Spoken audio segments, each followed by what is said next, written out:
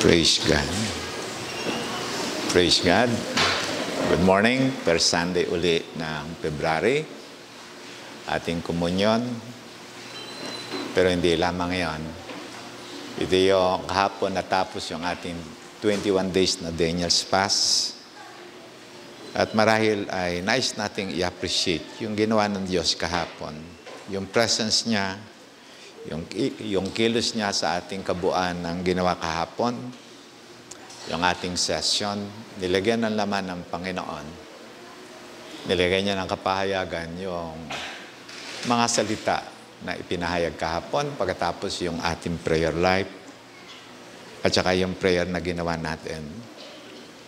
Ngayon, nice kong ipaliwanag na bakit natin ginagawa itong ganitong activity o exercise ng ating pananampalataya. Napakahalaga na tayo mag-pray. Lalo-lalo na pagkasinamaan natin ito ng fasting. Napapalakas, napapatibay ang ating pananampalataya. At kapag ka meron tayong pananampalataya, nagagawa ng Panginoon na malinis yung ating buhay. Ang faith natin ay napakahalaga sa Panginoon. At ang kaparaanan ng Diyos para tayo malinis sa pamagitan ng pananampalataya. At nais kong ating tingnan yung mga binabanggit sa Scripture. Sa araw na ito, meron tayong communion. Ang communion, ito yung ating pagsa-celebrate doon sa tipan na ginawa ni Jesus Christ ititipan ng pagpapatawad ng Diyos sa ating lahat na kasalanan. At imagine natin, yung ating kasalanan ay napakalaki ang naging halaga para iti matakpan.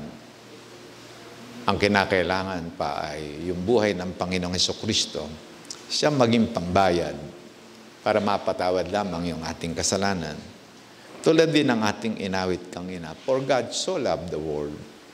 Na-imagine nyo ba kung gaano kalaki ang pag-ibig sa akin at pag-ibig sa inyo ng Diyos ang kanyang inilagay na alay para mapatawad lamang yung ating lahat na kasalanan upang mamatay sa krus. Si Jesus Christ, yung bugtong na anak ng Diyos. Yung kasama sa creation. Yung kasama sa beginning. At si Diyos, lamang ito yung itinapat na laki at sukat ng pag-ibig ng Diyos sa bawat isa sa atin. Ngayon, yung pag-ibig ang naglalagay ng halaga. Pagka malaki ang pag-ibig, malaki ang halaga. At pagka maliit yung pag-ibig, maliit ang halaga. Maging anumang bagay, bibili natin kahit mahal, basta titi mahal natin. Babayaran natin. Pero kapag maliit lamang ang tingin nating halaga, kung minsan kahit na mahal o kaya maganda, kahit mura na, kung minsan ay pa rin natin bayaran. Sa araw na ito, nais kong tingnan yung ginagawa ng Diyos pagka tayo nanampalataya.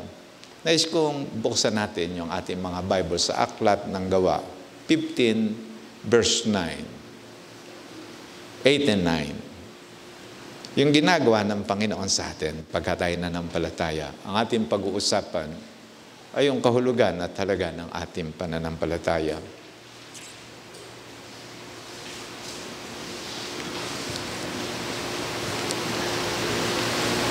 Muli tayong tumayo. Ang sabi rito sa talata, ito tinutukoy sila Cornelius at yung kanyang mga inanyayahang mga tao na makinig sa pangangaral ni Peter. Na habang sila nakikinig ng pangangaral ni Pedro, habang sila nakikinig sa salita ng Panginoon, salita ng Panginoon nagmumula sa isang taong merong pananampalataya, merong taglay na kapangyarihan. Binanggit na ang sabi rito, habang nakikinig, ibinuhos ang Holy Spirit sa kanila. At ito yung tala. God who knows the heart showed that He accepted them by giving the Holy Spirit to them, just as He did to us. And then verse 9. He made no distinction between us and them, for He purified their hearts by faith. Tayo manalangin saglit. O Diyos at aming amang nasa langit. Amin pong inilalapit sa ang mga salita na amin pong pakikinggan. Na iti maging salita ng pananampalataya na kumikilos ang banal na Espiritu at gumagawa at naglalagay ng buhay sa amin. Inilalapit namin pagpalaan niyo po kami sa amin pong pakikinig sa pangalan ni Jesus. Amen. Pwede na tayong maupo.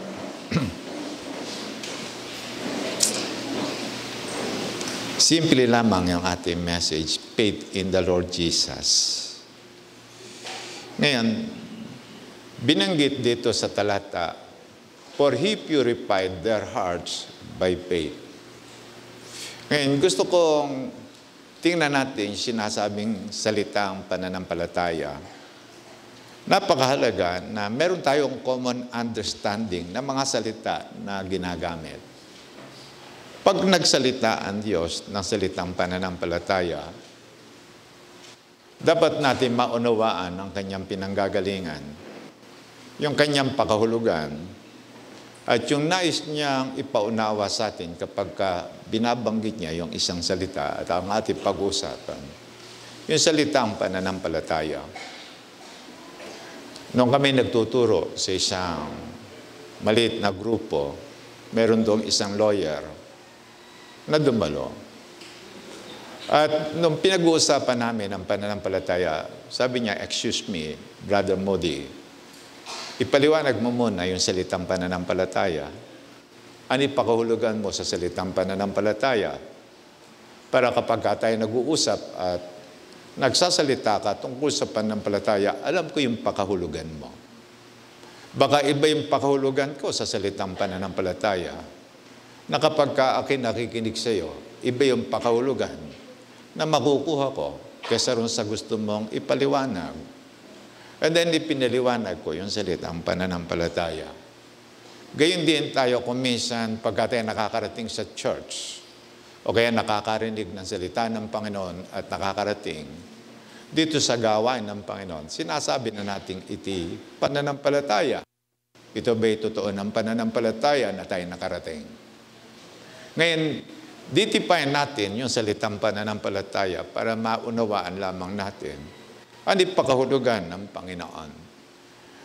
Noong si Abraham ay inilabas ng Panginoon mula sa kanyang kinalalagyan at dinala sa labas. At ipinakita yung maraming bituin sa langit. Ang sabi niya, tumingin ka sa taas. Magbilang ka ng bituin. Kung kaya mong bilangin, ganyan karami ang magiging lahi mo. At nanampalataya, nanalig si Abraham sa Panginoon. At binanggit doon sa aklat na kasunod doon sa, sa Genesis 15.6, ibinilang na ng Diyos na matwid si Abraham dahil sa kanyang pananampalataya. Abraham believed the Lord and He credited it to him as righteousness. Ginawa ng Diyos na matwid si Abraham. Merong miracle na naganap do sa puso ni Abraham na naging iba na siya pagkaraan ng kanyang expression, ng kanyang pagpapahayag ng pagtitiwala sa Panginoon. Binanggit, Abraham believed the Lord.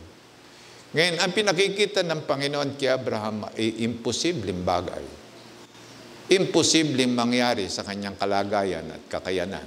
Hindi kayang abutin ng isip, hindi kayang ipaliwanag ng katwiran ng tao. At walang makikitang ebidensya na magpapatunay na magaganap yung sinasabi ng Panginoon. Sapagkat nangangako ang Diyos kay Abraham na si magiging isang malaking bansa na hindi kayang bilangin ng mga tao ang bilang. At nagkataon na ang pinangangakuan ng Diyos ni si Abraham ay binanggit na sa isa ng matanda the time at yung kanyang asawi baog. At hindi lamang baog, menopause pa. Na-imagine na natin na talagang imposibleng magkaanak si Abraham sa natural na kaparaanan. Pero ang Diyos ay nangangako ng bagay na hindi kaya magawa ni Abraham. Hindi pwedeng mapangyari ng tao sa daigdig nito. Hindi kayang magawa ng sino man. Pero binanggit dito ang sabi doon sa 15.5, balikan lang natin para makita natin ang context.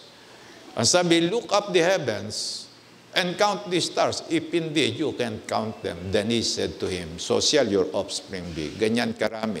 Ang magiging lahi mo. At ang pinangangakuan ng Diyos ay isang taong walang anak.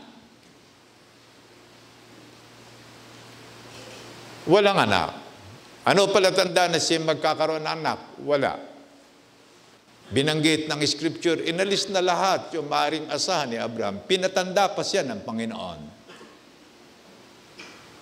Pero pag kasi tumanda, tatanda rin yung kanyang asawa. At nung siya, that time, 86, siya mahigit, Mapa-imagine ninyo yung kanyang asawa ay 76 at baog. At pagka 76, menopause na. Kaya ako binanggit na kung minsan nagsasalisay sa atin ang Diyos ng mga bagay na hindi kayang abutin ng isip, hindi kayang ipaliwanag ng katwiran, at hindi pwedeng makita sa degdeg nito at walang palatandaan na maaari itong mangyari. Pero dahil sa ang Diyos ay nagsasalita, pinagtitiwalaan. Kaya binanggit dito, then he said to him, so shall be your offspring. And then doon sa verse 6, binanggit na narito si Abraham. Abraham believed the Lord. At nung manalig si Abraham, he credited it to him as righteousness. Dito nyo maunawaan niya yon, ang definition ng salitang righteous. Ang salitang righteous, pagtitiwalaan mo at paniniwalaan yung sinasabi ng Diyos. Ang pagiging matwid ay papanigan mo yung panig ng Diyos, hindi yung panig ng tao, hindi yung panig mo, hindi yung katwiran mo, hindi yung pananaw ng tao, hindi yun ang pagiging matwid. Ang mabuti yan, matwid na tao yan. Pero ang pagiging matwid at pagiging tama ng tao ay kapag kasi pumanig sa Diyos, pinagtiwala niya sinasabi na, ng Diyos. At ito yung tinutukoy na pagiging matwid. Pero dito, itinatag na rin yung definition ng pananampalataya. Pagtitiwalaan may Diyos na nagsasalita. Na kahit na hindi mo mawawaan at maunawaan at kayang ipaliwanag kung paano niya magagawa yung kanyang ipinapahayag, nagtitiwala ka pa rin. Mananalig ka pa rin. So, sa aklat ng Hebrews chapter 11, verse 1,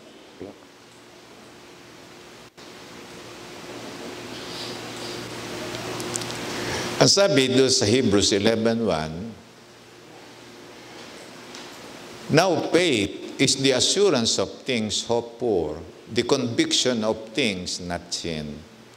Ngayon, ang pag-asa natin sa Diyos ay pagkabuhay na maguli. Wala pang ebidensya na tayo mabubuhay na maguli. Wala rin talaga ang palatandaan na paano ito mapapangyari. At paano ito magaganap. Alam lang natin at pinagtitiwalaan na si Jesus Christ na matay sa krus. At yung kanyang dugo na nabubo doon sa kanyang pagkapako, iti pambayad sa ating kasalanan. Kaya lamang ang tinutukoy na dugo, buhay ni Jesus Christ. Ang tinutukoy na dugo, buhay ni Jesus Christ. Sapagkat nasa dugo ang buhay, sabi ng Scripture. So, ang inilagay na pambayad para lamang mapatawad yung ating kasalanan ay si Jesus Christ. Yung buhay ni Jesus Christ. Napansin niyo ba, napakamahal ko at napakamahal ninyo. Ang halaga ko at halaga ninyo hindi kayang bayaran ng temporal things sapagkat ang halaga ko at halaga ninyo eternal. Lamang hindi pa mapasok sa ating isipan na ako at saka kayo may eternal value sa Diyos. Mahal na mahal ako ng Diyos, mahal na mahal kayo ng Diyos, at kahit na tayo lumala sa dami ng nagawa nating kasalanan, still, mahal tayo ng Diyos. Kahit na napakalayo na ng ating isip, napakalayo na ng ating buhay sa Panginoon,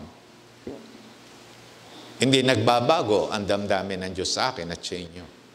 Mahal ako ng Diyos, mahal kayo ng Diyos, at ano yung kanyang layunin? Iligtas ako, iligtas kayo, bayaran ng dugo ni Kristo ang buhay ko. At mabalik ulit tayo sa Diyos.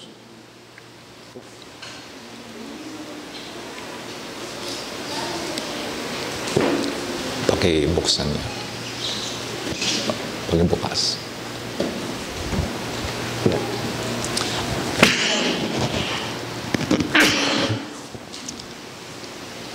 Thank you.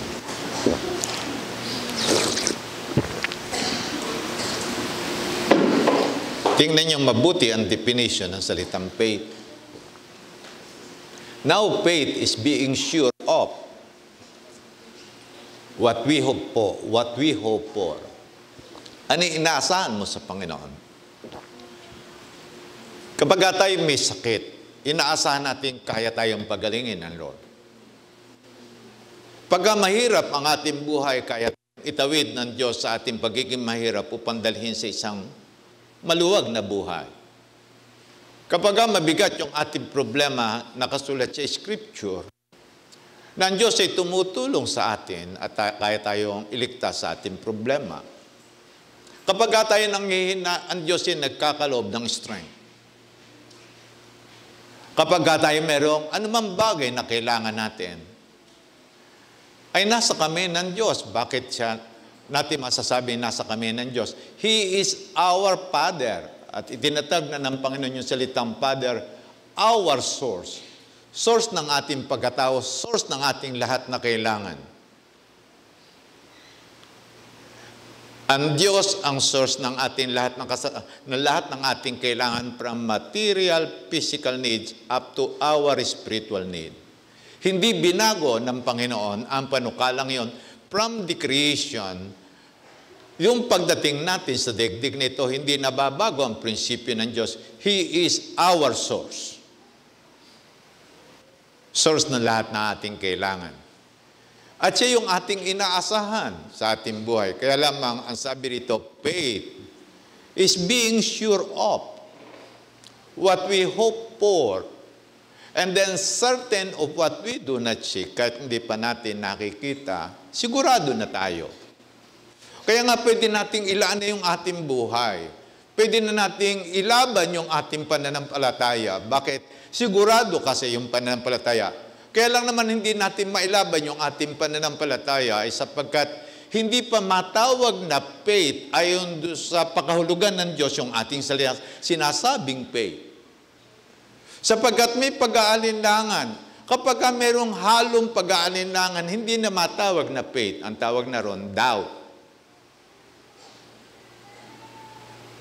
Kaya lang, binanggit, now faith is being sure of what we hope for, yung inaasahan natin sa Panginoon.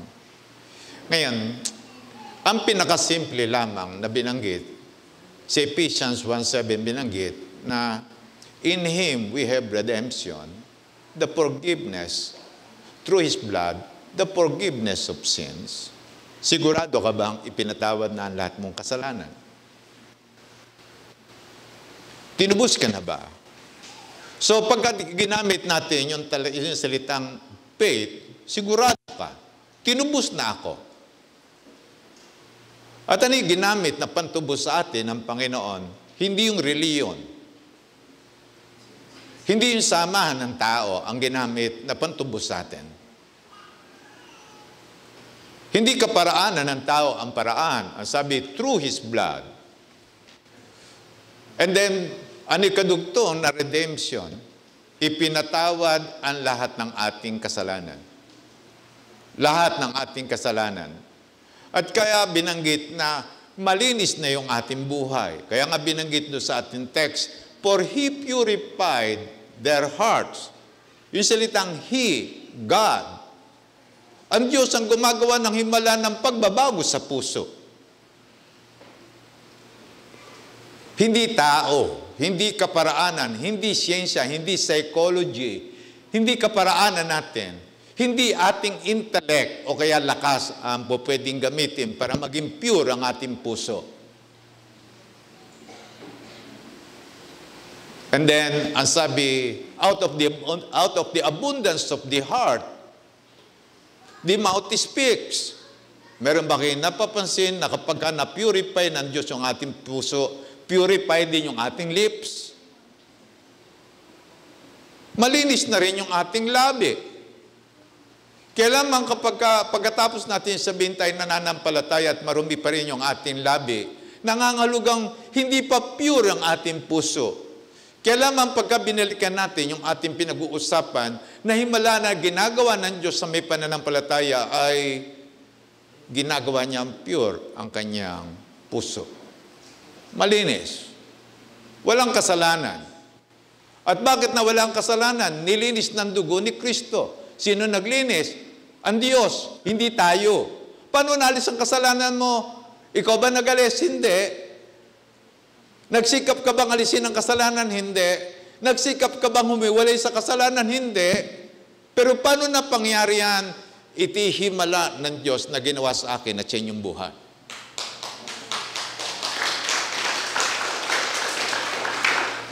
Kaya nakikita lang natin yung kaibahan na meron tayong salitang faith. Kasi iba ay nagkakasya na, ah, Christian ka? Oo. Bakit mo nasabi? Dumadalo ko sa isang church. O ano pa? Nagbabasa ng Bible, nagpe-pray. Eh bakit ganyan pa rin ang buhay mo? Ah, pinuhubog pa ako ng Diyos. Totoo yun, inuubog tayo ng Diyos. Pero bakit nagmumura ka pa rin? Bakit nagchichismis ka pa rin? Bakit ganyan ka pa rin magsalita? Bakit ganyan pa rin yung iyong pakikitungo? Bakit ganyan pa rin ang iyong ugali? Kaya lamang, ulitin ko, the very day na yung isang lumpo lumapit, lumapit sa Panginoon at binanggit, rise up and walk. Hindi sasabihin ng tao, after a week. Kailan lalakad yun? Right after na siya makarinig ng salita ng Panginoon at nanampalataya, that very moment, the miracle ng paglalakad ng kanyang paa ay naganap. Ngayon, ulitin ko uli, na kapag ka nagbigay ang Diyos na anumang bagay sa atin, it is a miracle, it is a creation. It is a creation. Hindi niya yung bang hinuhubog mo na, okay, saglit lang ha, maghintay ka, i-repair ko yung paa mo, no? Ah, kulang pala sa sukat ito, no? Dadagdagan ko ng konti. No, it is a miracle.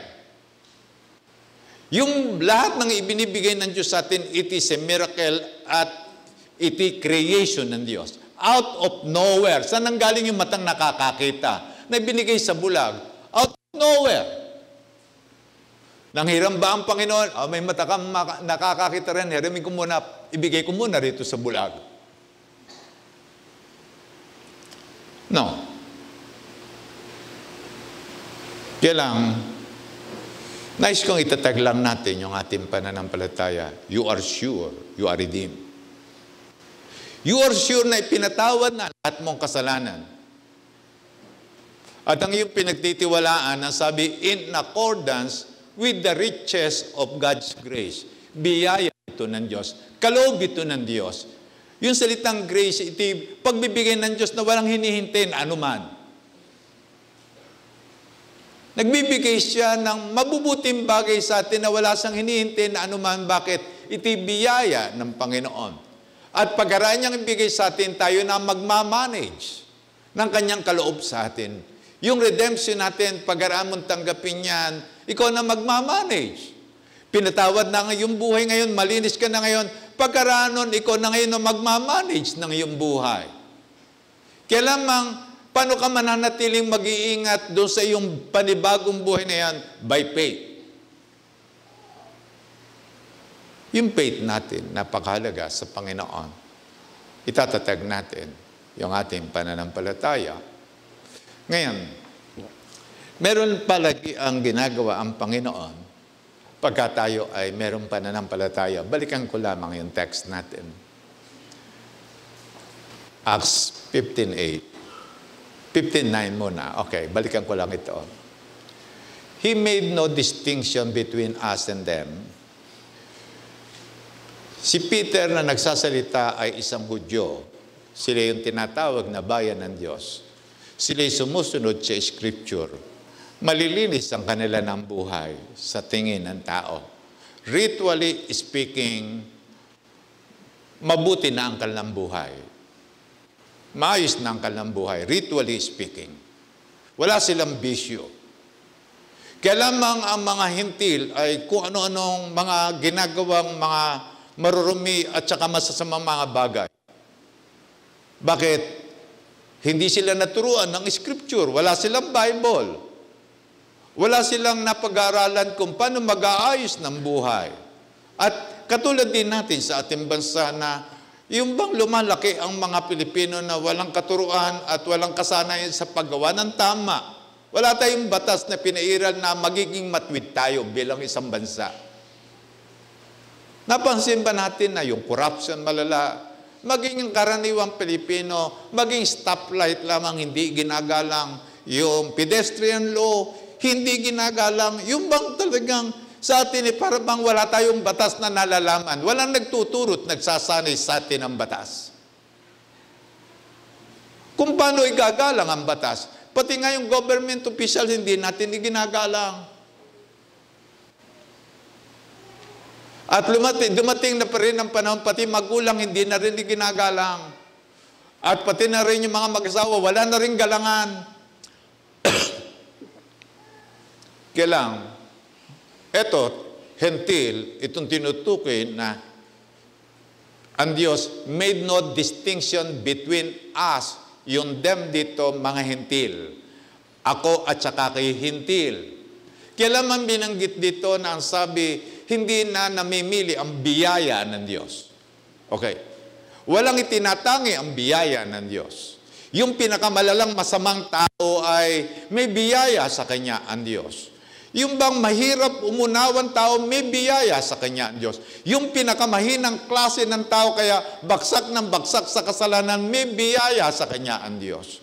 Yung wala talagang magawa sa kanyang buhay, yung bang, yung talagang kakatuwa na yata ang taong ito. Talagang masabi mo, mahirap nang ispelengin tao. Walang maka, yung bang makasundong sino man tao, pero may biyaya sa kanya ang Diyos. Ang sabi, ang biyaya ng Diyos, He made no distinction between us and them. For God purified the hearts ng mga masasamang tao. Yung malalalang tao. Yung maruruming buhay na tao. Yung napakalayong tao sa Diyos. Yung bang nagpabaya sa kanyang kaugnayan sa Panginoon. Yung walang iniisip kundi sariling tao. Ang sabi, He purified their hearts. Kailangan merong kailangan na bahagi ang tao. Manalig siya sa Panginoon. Pagtiwalaan niya ang Diyos na nagsasalita. Pagtiwalaan niya ang Diyos na nagsasalita. Ngayon, itinatatag natin na sa Scripture, lahat ng binibigyan ng himala ng Lord, ang karaniwang binabanggit ng Panginoon, Do you believe? Meron ka bang pananampalataya? Makikita ninyo, maging doon sa aklat ng Matthew chapter 15, at uh, Matthew chapter 9, 2 and 3, paki-plus. Some men brought to him a paralytic lying on a mat. When Jesus saw their Tingnan niyo mabuti. When Jesus saw their faith, ano yung tinitingnan sa tao? Hindi yung kanyang anyo. Hindi yung kanyang sukat. Sukat ng buhay, sukat ng kanyang kabuhayan, sukat ng nalalaman. Hindi doon niya tinitingnan ng tao. Ang hinahanap niya, tinitingnan niya palagi sa tao ay iisa lamang, faith. Kaya nga nyo makikita ang prinsipyo ng creation ng Diyos sa tao. From the very beginning, nalalangin niya si Adam, ang kanya talagang inilagay na prinsipyo sa tao si dapat na merong faith sa Diyos.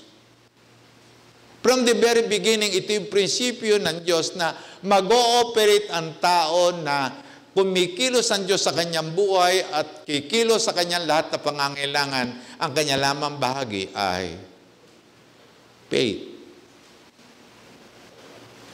Prinsipyo ito ng Diyos. Alam ninyo, kaya tinitingnan natin, may yaman yung ating pananampalataya. Bakit naugnay ka dun sa source ng lahat ng iyong kailangan sa buhay? Ang sabi, when Jesus saw their faith, He said to the paralytic, Take heart, son, your sins are forgiven. Pagkat tinignan natin, your sins are forgiven. Ano kalalagayan ng tao? Paralytic. Pero binabanggit na nung makita ang kanyang pananampalataya, lundag kagad si Jesus Christ sa pangunahing kailangan ng taong lumpo ng paralytic. Ano yung pangunahing pangangailangan? Ang pangunahing kailangan ng tao, forgiveness from his sin. Ito yung pangunahing kailangan ng tao. Alam na alam niya, pagbalik-balik ta rin man ang mga pangyayari sitwasyon, alam na alam niya, ipinatawad na ang kanyang lahat na kasalanan. Walang natira. At kapag tayo nanalig sa ginawa ni Jesus Christ, we believe na lahat ng ating kasalanan from the past, the present, and then the, and then the future, lahat na ngayon bayad na. Alam na natin bayad na. No? Kaya hindi ka na magkakautang sa Diyos. Bakit? Lahat ng utang mong gagawin, tinapatan na ng Diyos ng pambayad. Bayad na. At kung gayon, manalig ka lang sa Panginoon. Bakit? Kapag hindi ka nanalig sa Panginoon, ikaw magbabayad. Na-imagine nyo ba, gusto nyo, gusto nyo bang magbayad sa inyong kasalanan? Konting kasalanan, konting sumpa, dumadaming kasalanan, dumadami ang sumpa, pinahirapan ang iyong buhay, kasi gusto mong ikaw ay magbayad, pero pagkaraan nun, eto darating na yung pagkakataon na dumating na yung panahon na ikay kukunin na ng Diyos dahil sa yung pagpapatuloy na paggawa ng kasalanan. Ikaw pa rin ba gusto mong magbayad? Ang sisingilin na sa iyo, buhay. Pero hindi lamang buhay sa physical, kundi buhay sa spiritual. One time, meron kaming dinalaw na tao doon sa Alfonso. Si may sakit na cancer. Prostate cancer. Ang sabi niya, teenager pa lamang daw siya, naninigarilyo na siya. At ang sabi niya, at the age of 62, ang sabi niya, sinisingil na ako sa akin, sa akin nagawang mali sa aking buhay. Ang sabi niya, siningil na ako ngayon. Yun ang kanyang katwiran. Yun ang kanyang sinasabi. Naningil na. Saan? Doon sa kanyang maling ginagawa. At dumating na rin yung kapanahon na sinisingil na. May pera siyang pambayad sa, sa pagpapagamot. Kaya lamang, ang naging karamdaman niya, sakit na cancer sa prostate. At siya namatay. Pero dahil sa kami naparoon sa kanya, nakapag-share kami ng Word of God. At bago siya namatay, itinatag na niya yung kanyang pananampalataya. And then, on the very day na siya naghihingalo, ipinahintulot pa ng Panginoon, makarating kami mag-asawa sa kanyang deathbed at siya na-comfort at na-strengthen para may tatag lamang ang iisang bagay sa kanyang puso, sa kanyang buhay, pananampalataya sa Panginoon. Ngayon, take heart, son, your sins are forgiven. Kaya lamang may mga taong nagsasabi, sino itong nagpapatawad sa kasalanan? Pwede ba niya itong gawin? At titikin lang binabanggit na paano niya magagawang magpatawad sa kasalanan? At sila nagdududa na meron talagang kakayanan si Jesus Christ na magpatawad ng kasalanan. At ang dahilan lamang ay kawalan ng pagtitiwala. Kaya lamang nais ng Panginoon sila manalig sa Panginoon at isinunod dito. Then, 3, 4, and 5, tingnan lang natin. Some of the teachers of the law said to themselves, This fellow is blaspheming, sinamumusong sa Diyos. Bakit? Ang Diyos lamang ang pwedeng magpatawad ng kasalanan. And then verse 4, Knowing their thoughts, Jesus said, Why do you entertain? entertain? Tingnan niyo mabuti ang wording. Why do you entertain evil thoughts in your heart? Mapapatawad kaya ako ni Jesus Christ Binabanggit nila, hindi niya kayang magpatawad sa kasalanan. Hindi ako mapapatawad sa aking kasalanan. Kapag ating minumunin na sa dami na nagawa kong kasalanan, hindi ako mapapatawad ng Panginoon sa dami na nagawa kong kasalanan.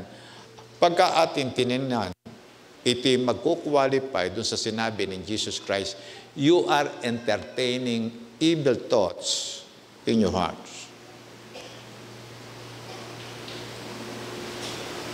Bakit? Biyaya ng Diyos ang pagpapatawad. And then verse 5, which is easier to say, your sins are forgiven, or to say, get up and walk. Verse 6. But so that you may know that the Son of Man has authority on earth to forgive sins, then he said to the paralytic, Get up, take your mat, and go home. Verse 7. And the man got up and went home. Pero para patunayan ko na ako'y merong authority sa pagpapatawad, sa pagpapagaling, sa ikabubuti ng tao. Na-imagine nyo ba, ano yung ni Jesus Christ? Gumawa ng mabuti. Pagalingin yung paralytic, kino-question pa siya. Na-imagine nyo, gumagawa na siya ng mabuti, nagpapakita na siya ng mga himala, kino-question pa siya. Kinikriticize pa siya. Hindi pa siya mapagtiwalaan ng mga tao. Kaya nga, nakita lang natin, yung nagagawa ng Panginoon kapag ka-present yung ating pananampalataya. No? Makita lamang yung ating pananampalataya, meron ng himalang darating sa iyong buhay. Ano himala? Habang nakikinig kang may pananampalataya, hindi mo maunawan bakit nagbabago ang iyong puso, nagbabago yung isip. At di mo rin maunawan na habang nakikinig ka, lumalakas ang iyong katawan. Alam ninyo, pagka tinignan natin yung context, there is that probability ng pinanggalingan. Kaya naging paralitiko itong tao yung kanyang kasalanan. Ito yung pinakaugat. Bakit siya may karamdaman? Yung kanyang nagawang kasalanan. Marahil bisyo, marahil pagpapabaya sa katawan, pagpapabaya sa kalusugan, pagpapabaya doon sa napakaraming bagay na hindi na natin kayang alamin dahil hindi naman sinabi sa text. Pero yung binunggit lamang na ano talagang pangangailangan ng mama. Pwede namang gawin ng Panginoon, palakarin yung mama pero makasalanan pa rin. Payamanin ng tao pero makasalanan pa rin. Lumago naman sa kabuhayan, nagtagumpay naman sa kanyang karir pero makasalanan pa rin. Pwede naman mangyari, kaya lamang binabanggit na prinsipyo ng Panginoon, ano mapapala ng tao. Makamit man yan lahat ng bagay na yaon, mapapahamak naman ang kanyang kaluluwa. Ano mapapala mo? Napahama ka naman. E sasabihin natin, eh, kailan? Sapagkat napaka-iksi lamang ang buhay ng tao. Alam niyo ba, minsan, ginigipit na tayo sa daigdig nito. Alam niyo ba, sa Australia, dahil sa hindi mapula yung apoy doon, alam niyo una nagsipag-pray ang mga believer sa loob ng kanilang mga churches. And then, hindi pa rin maapula yung apoy doon sa Australia. Alam niyo, pati yung mga hindi dumadalo sa church, nagsimula na rin mag-pray. Bakit? Nakita nila sa kaparaanan ng tao, walang kalutasan ng problema nila sa apoy doon sa kanilang kagubatan. Nung hindi nila kayang maluta sa kanilang kakayanan, natuto na silang tumawag sa Diyos. Napansin niyo ba kapag tayo inilalagay na sa isang sulok at hindi na natin malaman ang ating gagawin, napipilitan na tayong magsalita, O Diyos ko po, Diyos ko po, Diyos ko po. Kaya nga dito makikita natin yung biyaya ng Panginoon. Kaya lang, sa umagang ito, itatag lang natin ang faith. Balik nga yung Acts 15. And then, God who knows the heart. Ano makikita ng Panginoon sa puso? Nagnanais naman ang palataya. nagnanais na lumapit sa Panginoon, nagnanais na umugnay uli sa Diyos.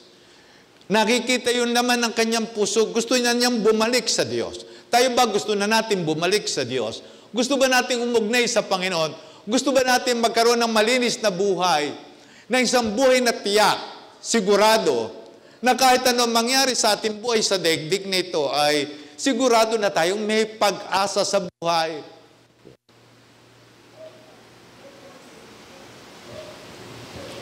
Nakakalungkot uh, sa ngayon, problema sa Australia, sa yung sunog doon. Ngayon naman sa China may coronavirus. Na, nakabili na ba kayo ng face mask? Nagkakaubusan? Ha? May pera ka naman pambayad pero nauubos. Alam niyo lamang, hindi naubos, biyaya ng Diyos. Amen? No.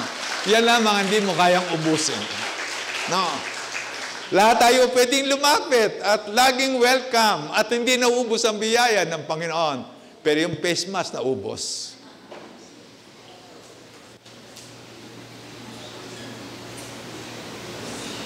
Kaya lang, showed that He accepted them by giving the Holy Spirit to them.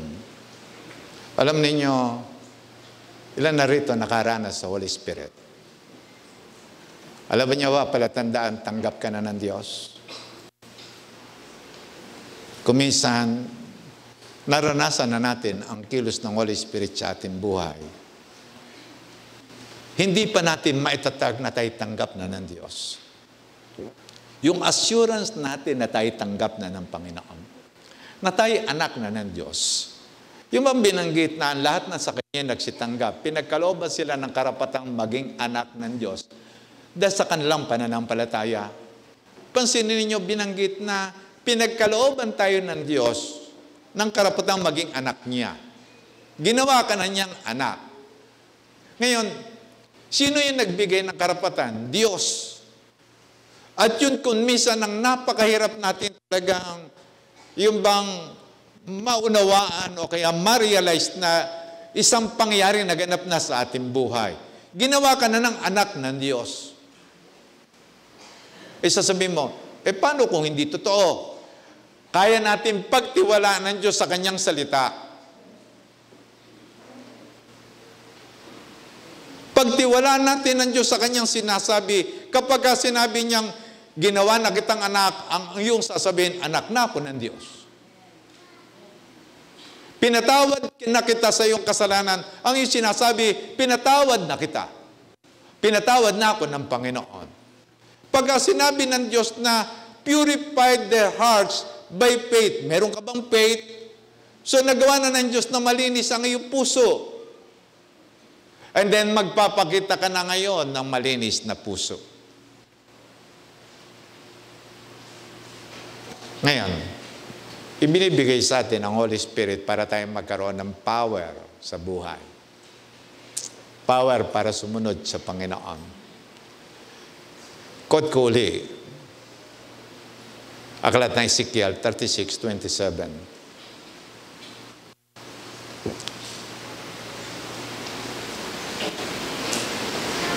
And I will put my spirit in you and move you. God will move us. Ang sabi, I will put my spirit in you and move you Kikilusin na kita. Meron bang kilos sa iyong puso? May kilos sa iyong isip? May kilos sa iyong buhay? Ano yon? To follow my decrees and be careful to keep my laws. Nakita niyo ba ngayon, bakit tayo nagiging iba na? Meron tayong power. At sasabihin natin, kaya ba ng Diyos na akikilusin? Kaya bang makilos ng Diyos? Gaano kakatibay at katatag na hindi makilos ng Diyos? No, pagka tiningnan natin, pinatigas na lang natin ang ating puso, kaya yung ating katauhan kapag sinabi natin, ah, walang magagawa ang Diyos sa akin. Hindi niya ako kayang baguhin. Kaya lamang hindi ipipilit ng Diyos yung kanyang biyaya sa atin kung ayaw natin tanggapin. I will put my spirit in you and move you to follow my decrees and be careful to keep my laws. Ngayon, eto, kapag ka tayo meron pananampalataya, may ginawang pagbabago sa atin ng Diyos, meron din babala ang Panginoon. Sa aklat ng John chapter 5,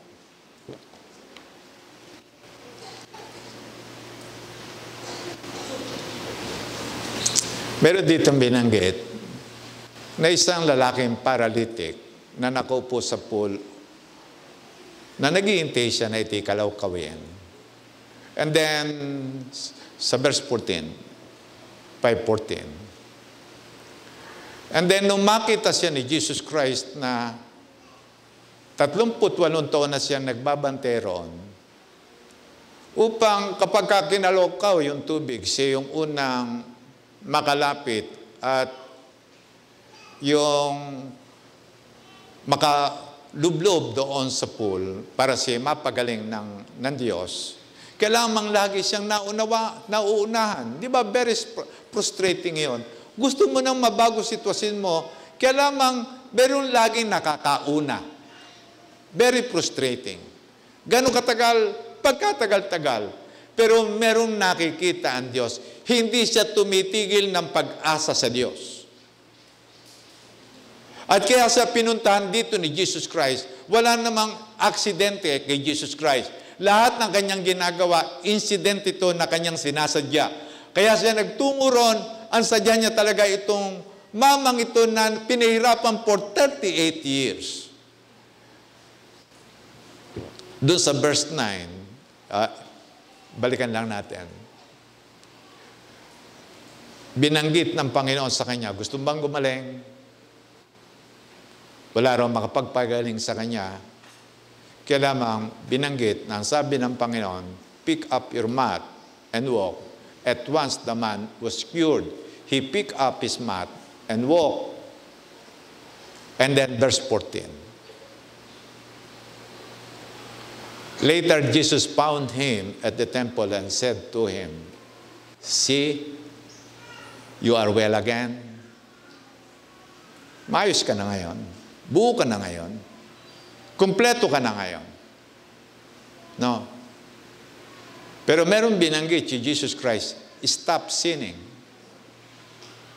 or something worse may happen to you. Pagkaraan tayong linisin ng Panginoon, magpakalinis na tayo. Pag ito'y pinagaling ng Panginoon sa isang karamdaman, ang pinanggalingan ay ang iyong kalikuan at kasamaan. Huwag man ang balikan yung kalikuan at kasamaan. Kung ito man ay bisyo, kung ito man ay drugs, kung ito man ay paninigarilyo, o ito'y pag-iinom, o ano man yung ginagawa natin pagpapabaya sa ating katawan, pagka tayo pinagaling ng Panginoon, huwag man ang babalikan yon. Example, high blood ka, kain ka ng kain kasi na matataba. At dahil sa ikaw na ngayon na naging alo, Lord, pagalingin mo na ako, pagalingin mo na ako, naawa ang Panginoon at sabihin ng Panginoon, ngayon magaling ka na. Sasabihin ng Panginoon, huwag ka na magkakain ng baboy ngayon at matataba. Or else, or else, high blood ka uli, eh pinagaling na ako ng Lord, di ba? Pwede ko nang kainin uli ang lahat ng bagay. Uulitin ko, kapag ka tayo pinagaling ng Panginoon, magbago ka na. Okay ba yan? Pag ay kayo binago ng Panginoon, magbago ka na. Kaya binanggit, stop sinning or something worse may happen to you. Kaya nga yung ibang commentator, binabanggit, may kasalanan, kasalanan ng pinanggalingan ng pagdurusan ng mamang ito. Iba, naghihirap ang isip. Iba, naghihirap sa puso. Yung iba, naghihirap sa kanyang yung bang sa kanyang pag-iisip at sa kanya, wala siyang comfort, wala siyang makita, yung bang fulfillment ng buhay. Alam nyo, ang fulfillment ng buhay Diyos. Ngayon, dito makikita ninyo na magiging maayos lamang ang buhay natin kapag tayo tumigil na sa kasalanan. Nakita niyo ba? Ngayon magaling ka na, pero pananatiliin. Paano mapapanatili kalusugan? Tumigil ka na sa paggawa ng kasalanan. Ngayon, paano natin palalaguin ang ating pananampalataya. Una, sabi sa aklat ng Romans, chapter 10, verse 17,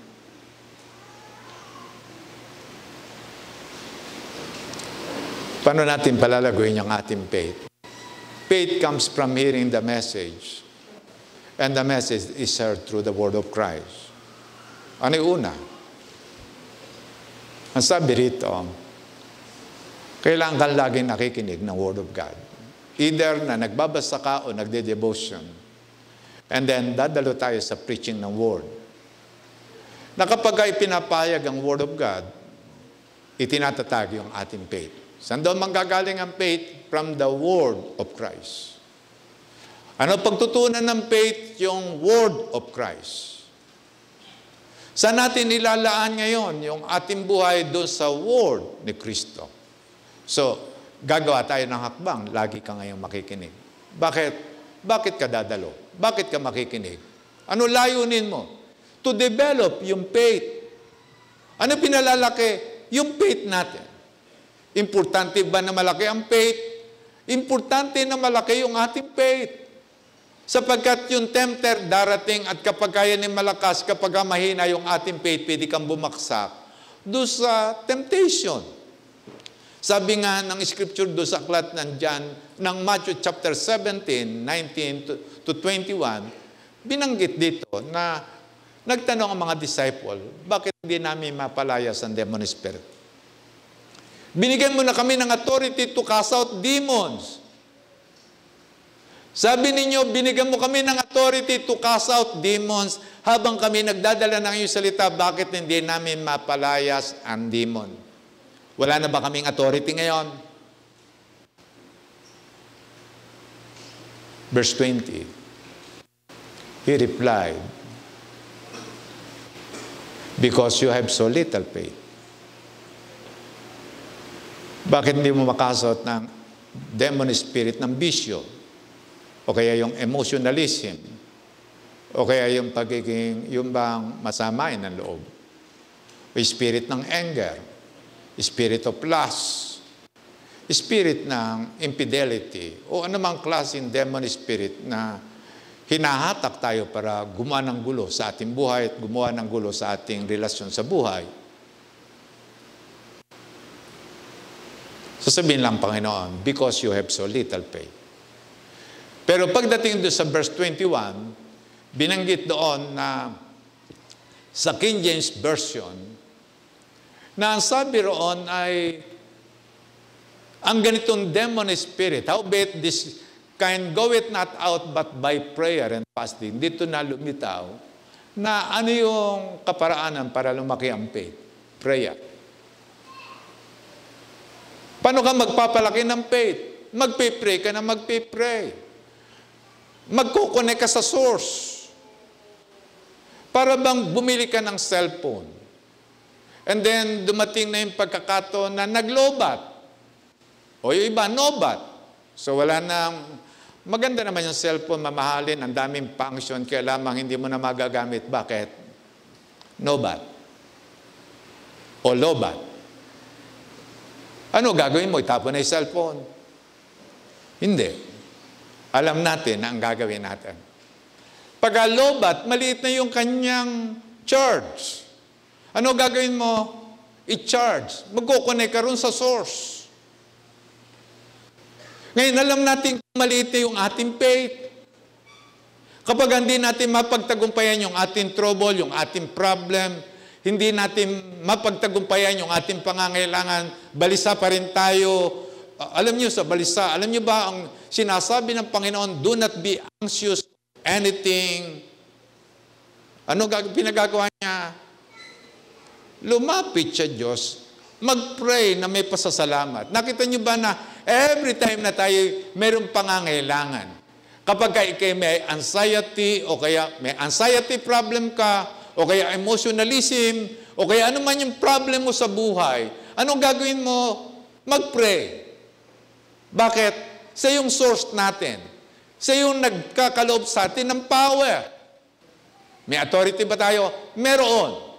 Kaya lamang hindi mag-operate ang power o yung bang kakayanan nito. Bakit? Little faith. Eh bakit tayo nang, hindi mo na magamit yung cellphone mo, ang ganda-ganda naman, ang dami naman function yan, kamahal-mahal pa niyan, ang ganda naman ng brand. No. Kasi lobat eh. Eh, tingnan mo, yung bar na lang niya, kapirasong, parang hairline na lang. No, na-imagine yung hairline na lang. Eh, pag text nga ito, maubos na ito eh. Text lang, tatawag pa. Paano ko magagamit sa pagtawag ito? Magwe-waste ka pa? Eh, hindi mo na magagamit yan. Yung application mo sa Waze, hindi mo na magagamit yan. Lobat na kasi. Eh, no, kailangan mo yan. I-charge mo. Buti dala may battery bank mo. No? At doon, pwede mong i-charge. So, ganun din yung buhay natin. Meron ka ng authority as a believer. Kaya mong pagtagumpayan ang anumang sitwasyon ng buhay. Kaya natin pumaibabaw sa lahat ng pangyayari. Manalig ka lang sa Panginoon. Manalig ka lang sa Panginoon. Have faith in God. Kailangan paano mo iaangat yung level of faith mo? Mag-pray. Pastor, salamat prayer lang. Dagdagan natin fasting. Kung minsan, may tutulak tayong mag-fasting. Lalo't lalo na. Yung bigat na bigat ka sa problema na kahit ayaw mo mag-fasting, hindi ka makakain. No, yung bang ganun sitwasyon. O kaya meron kang mabigat na karamdaman, wala kang ganang kumain. So talaga nagpa-fasting. Pero dagdagan mo ng prayer. So ang tinutukoy, ang kaparaanan para iangat ang level o kaya lakas ng ating faith, prayer and fasting. Another, obedience sa word. Sabi nga na Romans 1.5 sa NIV, binabanggit dito, obedience that comes from faith. Ano pala tandaan na ikay meron ng pananampalataya? Malalaman yung laki at sukat ng iyong pananampalataya by your obedience. By your obedience. Kaya nga, sa magang ito, tinitingnan natin, tayo magpapasya kung tayo mananalig sa Panginoon. Nanggagaling ang pananampalataya sa pakikinig sa Word of God. Pangalawa, yung prayer. Ang prayer, itinagaangat ng level of faith. Ang prayer din, nagsasangkap sa atin ang power para pagtagumpayan natin ang temptation. Ang prayer din, nagbibigay sa atin ng ability para makasunod sa Diyos. So yung prayer, ito yung bang nagsasangkap sa atin upang magawa natin yung lahat ng nais ng Diyos sa ating buhay. And then, yung faith, paano ito masusukat? Bawa yung ating obedience sa Panginoon. Tayo magyuko ng ating ulo. Ating itatag yung ating faith. Ating itatag yung ating faith. Yung faith na sigurado ka na. This time, sabi mo, Lord, this time sigurado na ako. Susunod na ako sa iyo. Gagawin ko na yung plano mo sa aking buhay. Susunod na ako. Sigurado na ako sa, sa aking pag-asa, sigurado na ako sa buhay ngayon. Alam ko po, natubos na ako ng Panginoon. Noon tinanggap na kita, Lord, as Lord and Savior. Alam ko na, okay, anak na ng Diyos. Ano man ang mangyari sa aking buhay, Panginoon, sigurado na ako. Susunod ako sa inyo, Panginoon.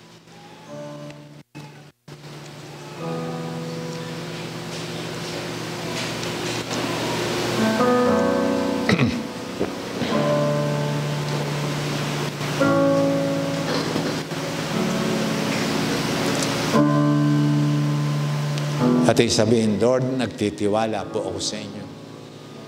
Kung ano yung sinasabi sa Scripture, naniniwala ako. Kung ano sinabi niyo tungkol sa akin, naniniwala ako. Aki anak na ng Diyos. Pinatawad na ako sa lahat kong kasalanan. Kung ako man ay aalis sa daigdig nito, pupunta ako ng langit. At ang dahilan, aki merong pananampalataya. Ang atin lamang ginagamit na dahilan kung bakit tatanggap ng biyaya, may pananampalataya. Hindi yung nagawa natin. Hindi yung dami nating alam sa Scripture, hindi yun. Ang dahilan, meron tayong pananampalataya. Lord, narito po kami. Amin pong ninanais na itatag sa pagkakataong ito bago kami mag-take ng komunyon. Yung aming pananampalataya sa Panginoon. Ninanais po namin sa pagkakataong ito na ipahayag yung pagtitiwala namin sa Panginoon, yung aming pananampalataya, na kami pinatawad na sa lahat ng aming kasalanan. Yung aming pananampalataya na ginawa nyo ng pure ang aming puso. Ang naglinis ay Panginoon. At ninais nyo po kami maging masunurin, ipinagkaloob nyo rin sa amin ang kaloob na Holy Spirit. Salamat po Panginoon, maging doon sa mga mga hentil na kausap ni Peter habang nakikinig pa lamang. Bumaba na Holy Spirit. Habang nakikinig lamang, ginawa ng pure ang kanilang mga puso. At aming pundalangin, ito rin po'y gawin ninyo sa aming puso, sa aming buhay. Salamat sa inyo, Panginoon, sa pangalan ni Jesus. Amen. Praise God.